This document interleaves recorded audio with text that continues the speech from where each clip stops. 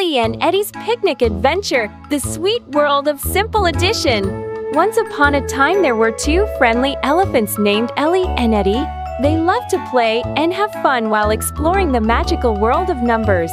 One sunny day, Ellie and Eddie decided to have a picnic in the meadow. They brought along some tasty treats like apples and bananas.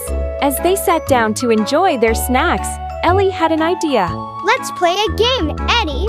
We can add the number of apples and bananas we have. Said Ellie with a big smile. Eddie agreed, and they started with three apples. Ellie counted three apples and took them out from the basket.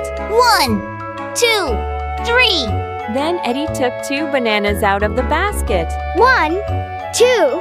Ellie giggled and said, Let's find out how many treats we have in total.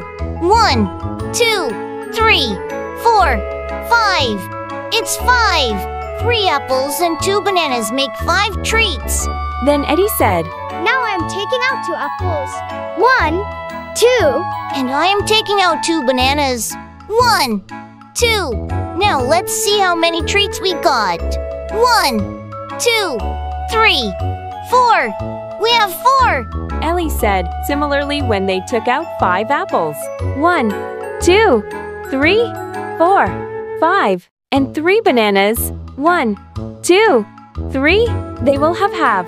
One, two, three, four, five, six, seven, eight.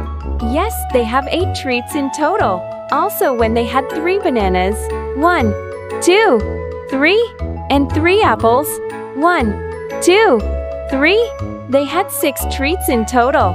The two friends continued their picnic, practicing simple addition with their delicious fruits.